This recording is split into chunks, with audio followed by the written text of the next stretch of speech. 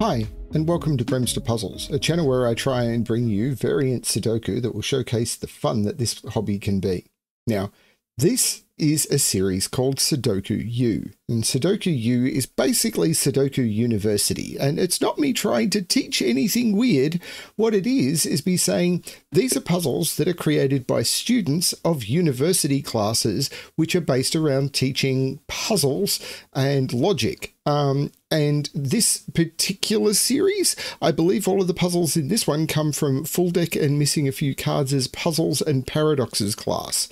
So um, these are classes where students are brought together to be able to teach how to think logically and how to um, yeah I, I, I don't want to come up with a précis that's wrong but teaching logic and teaching critical thinking is an important part um, and, and, problem solving is an important part of thinking.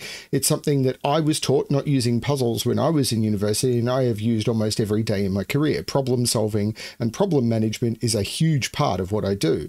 Um, and therefore at doing um, problem solving and actually thinking logically is a skill that unfortunately isn't taught enough. So I love the fact that they're using puzzles to teach logical thinking um, particularly for people who are wanting to go into maths and stuff like that. I, I think it's wonderful. So this series of puzzles, the Sudoku U series, there is a playlist on my channel for it, um, is all about puzzles that have been created by those students. Now, the interesting thing about this series, of course, is these are people who've not been necessarily making puzzles for that long. A lot of the puzzles you see on the on many channels have been made by people who've been doing this as a hobby for a very long time. A lot of the puzzles you will see in this series are from people who have made them as part of their course material, and therefore they've made maybe only made a few puzzles in their entire time, and these are the ones that were selected to go into the book that these are going to be part of, Cygnet Sudoku Volume 3.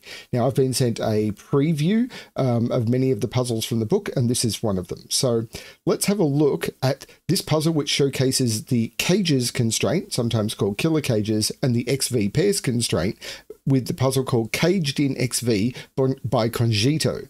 So, how does this puzzle work? So we've got the cages constraint, which is um, digits that are placed in cages must sum to the number in the top left corner of the cage, and digits cannot repeat within cages. So, for example, the digits in these ca this cage must sum to 15, we could have deduced that already, but they must sum to 15. But you cannot repeat digits. So, for example, we couldn't make both of those digits 4 and then make this a 2 and a 5. Uh, a 2 and a 5. Um, is that right? No, it's not. Um, but however that would work. Uh, a 6 and a 1? No, I'm not sure. But however that works, you can't do it by repeating digits. These can't be the same digit because um, that would um, break the rules. They don't see each other in the same row, column, or box, but they do see each other in a cage, so they can't repeat. We've also got XV pairs, which means that cells separated by a V must contain two digits that sum to 5. Cells separated by an X must sum two contain two digits that sum to 10. Um, and it is perfectly okay for other digit um, so, uh, other pairs to sum to five or ten, um, and that's why it's called pairs. Originally, there was most of the original XV puzzles um, had negative constraints, which means that all of the possible X's and V's were given, and that's how it started. So a label was put on ones that didn't have that. So it'd be perfectly fine for this to be a three. Um, we don't need an X, but um, all we know is where there is an X, they must sum to ten. I'm now going to restart the puzzle to restart my timer. Let's give this a shot. So there's an absolute gimme here. We know that the two the two digits that are put into those two cells must sum to five. If that's a one, that must be a four. These must sum to 10. If that's a four, that must be a six. Now this V clue is is forced because there's only two ways of making five, which is one, four, and two, three. Because if you start at the bottom and count up one plus four, then you get to two plus three, then you get to three plus two, which is the same. So you're repeating, so you can stop. So this can't be one, four because we can't repeat the four in the cage. So this must be two, three. So we know the sum of all of these digits. These digits here, hang on, this is broken. No, it's not. These digits here sum to 15. Um, this is me doing math wrong. These sum to 10, these sum to 5, but all five of those cells sum to 22. So if they sum to 15, we're missing 7 to get to 22. Now, we know these digits here are 1, 2, 3, and 4 because um, the only way to make V is with one uh, is with one four or two three, and all of those are on V's. So this can't be a three because if this is a three, this would have to be a seven, and if that's not a three, then that's not a two. Now, I could probably do something about this digit because this sums to five, so those two digits have to sum to seven because these two digits sum to sorry, this cage sums to 12 minus 5, those have to sum to 7. If that's a 4, that's a 3, which it can't be, so that's not a 4 and that's not a 1. If this is a 3, this would have to be a 4, which it couldn't be. If this is a 3, yeah, these would have to sum to 7. If this is a 3, this would be 1, 4, and then this would have to sum to, um, to make it 7, would have to sum to 4. This can't be a 3, which means this can't be a 2. If this is a 2, this would be a 5, and if this is a 1, this would have to be a 6, which it can't be. So this is 5, 2, 3, and there's no 2, 3 here. This is 1, 4. If that's a 1, that's a 9. If it's a 4, it's a 6. That's a really nice deduction. I like that. Now, how does this sum to 10? Because in order to sum to 10, you must use one digit below 5 and one digit above 5. Because you could use 1 plus 9, 2 plus 8, 3 plus 7, 4 plus 6. But 1, 2, and 4 are not available. So this is 3, 7. And the 7 here makes this the 3 and this the 7. These are two digits that sum to 9 because there's a 10 here. So I could use 1, 8 I can't use 2 7, I can't use 3 6, I could use 4 5. So that's probably a bit overboard. These 15 cages, by the way, didn't need to have a total because I know those sum to 10 and those sum to 5. So these 15 cages are completely forced. Now, oh, this is a 2 3 because it's a V that isn't 1 4. Do I have another one? Yeah, this V is now forced because this is either a 1 4 or a 2 3, and it can't be 2 3 because if this is 2 3, all three of those cells in the column would be from 2 and 3, and I have to have nine unique digits in the column. So this is 1 4, which means if this is a 1, this is a 9, if this is a 4, this is a 6. But I could figure out something about that digit. If this is 10 plus 1 plus 7, hang on, this is 10. If this was a 4, this would be 14 plus 7, and I'm already at 21. So if this is 10 plus 4 plus 7, I'm broken. So this can't be a 4 because those would sum to 11, those would sum to 10, and this would have to be minus 1. That's 1, that's 4, that's 6. Very clever. I like it. So these sum to 18, and to get to 20, that has to be a 2.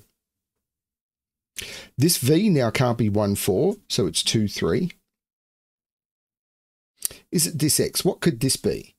It can't be a low digit because all of the low digits are given. So this is the high digit on the X. So it's 6, 8, or 9, and it can't be 6 because of the 6 and the 7. So it can't be 6 or 7.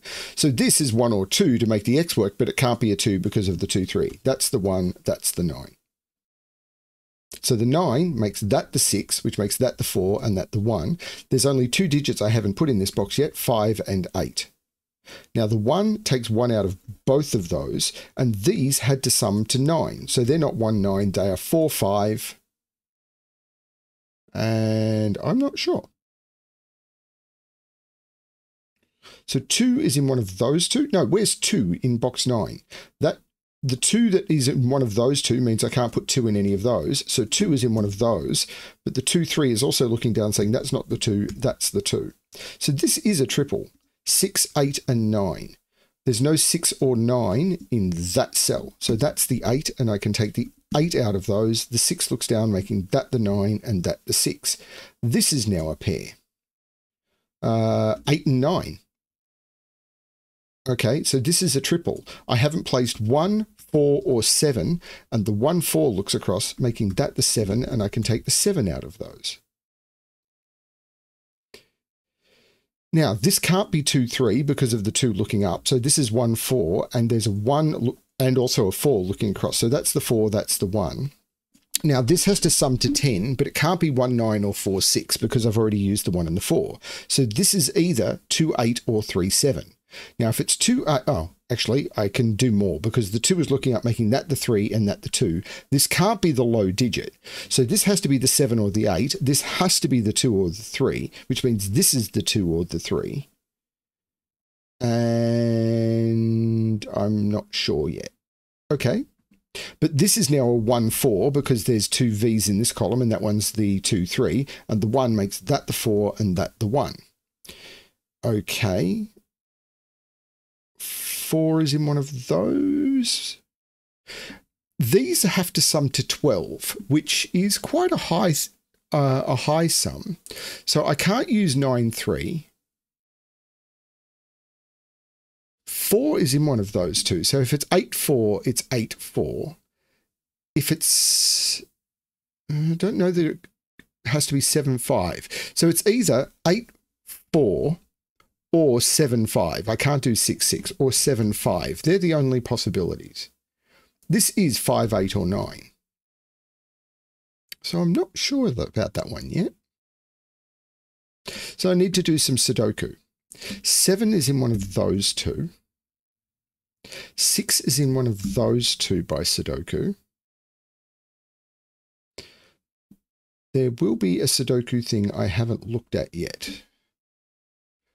Where is one in box one? That's going to be important because the two ones in these spots mean I can't put one in any of those, and I can't put one in two digits that have to sum to 12. That's the one, that's the four. Two, three, and four sum to nine, so that needs to be the eight. The eight looks across making that the nine and that the eight, and I've already got an eight, nine in the column in the row now, so that's a five. Now, the four looks across making that the one and that the four. The 8 in the box makes that 7, which makes that 3 and that 2, just using the X's and the V's. And I think I've used most of the clues now. The 4 looks down, making that the 5 and that the 4. The 3 here looks across, making that the 2 and that the 3. And now I have, except for this 2, 3. But that's all just resolved down to a pair. So it's now just Sudoku. I say just, but uh, five, six, and nine are what those are, but there's no six in either of those. So that's the six because I already have a six in the column. The five here can look across, making that the nine and that the five. This is a pair of digits I haven't placed, which are six and eight.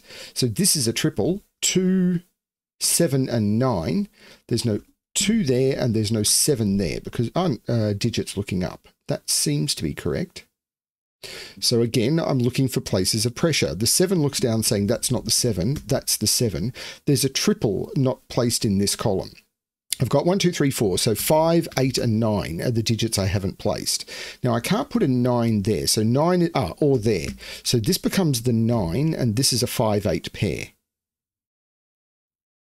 Let's look at the triple in row 9. What I'm doing at this point, and people say I'm bad at Sudoku, and they're not necessarily wrong, at least at classic Sudoku, is I normally look for rows, columns, or boxes where there's a lot of digits already placed, and I look to see if there's something I can do with that. Because what I haven't placed in this row is 6, 8, and 9. Well, again, I can't place 9 or, or 8 there because there's a 9 in the box and an 8 in the column. So that becomes a 6. I also find it's a little bit trickier and I'm a, lot faster when I'm not explaining, but eh, whatever.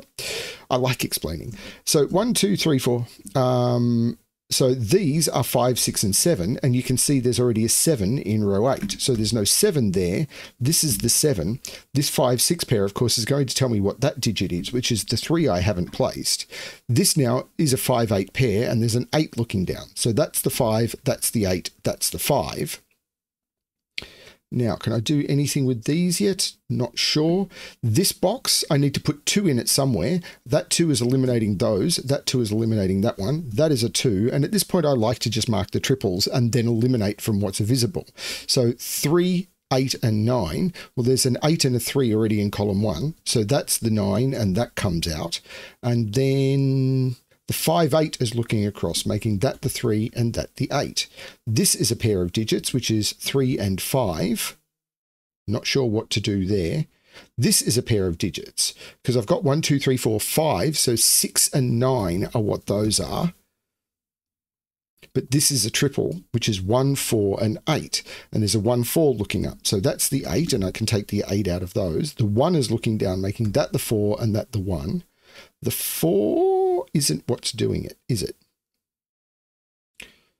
So there's something in this. Ah, the seven is looking up, making that the nine, which takes nine out of both of those, which as you can see now makes that the two and that the seven. The two looks down, making my mouse isn't working again. That the three and that the two. The three looks up, making that the five and that the three. The five looks down, making that the six and that the five. The six looks up, making that the eight and that the six. This has been resolved for a while. I could just see with that being the eight and that the five. The six looks down, making that the nine and that the six. And the nine looks down, making that the eight and that the nine. Nice easier puzzle. Now, this was an uh, one of the earlier ones from the set I was given. Um, the puzzles that are set by the students tend to be on the easier side, not always, but tend to be. Um, and that's okay when you're exploring the constraints. Um, I believe part of it would be they're trying to um, explore puzzles that they can not just create. I don't believe they create them in class. I don't know. I could be wrong about that. But they want puzzles that they can explore during a class, and they don't want one puzzle taking up an entire class. Um, but it's all about you know what is the logic that they're finding? And i thought this one was fine. Not all puzzles and I, I will keep stressing this not all puzzles need to be diabolically hard in order to have interesting logic in them. And if you want harder puzzles there are places to go and find them. Um, but these next ones are likely to be a little bit easier and i'm having fun with them so far Thanks everyone for watching. Um, you'll probably see, I think the next six days are going to be part of Sudoku U. And as I said, there'll be a playlist pop up on the end screen, which I think has 40 more of these that have been done over the last couple of years. So um, yeah, good fun stuff. Thanks everyone for watching. Hope you're enjoying these. And as always, good luck with your solving.